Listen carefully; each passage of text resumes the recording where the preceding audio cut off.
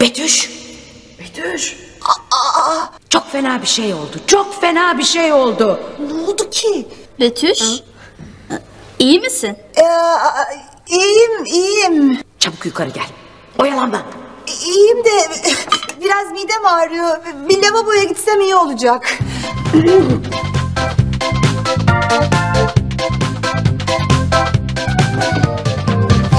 Buraya mı girdin? Ne var anne? Gene ne oldu? Daha ne olsun? Anneannen geliyor. Aa, anneannem mi? Ay, Bu harika. Ay bu harika. Yandık. Mahvolduk. Bana göre hava hoş. Yanan da mahvolan da sensin. Oh gelsin şöyle başında bir dır dır dır dır yapsın da gör gününü. Gelme. İşim gücüm var dedim. Ama geleceğim diye tutturdu. Dinleyen kim? Üstelik de canım sıkılana kadar kalacağım diyor. E anneciğim ne diyeyim yani şimdiden çok geçmiş olsun size. Ah!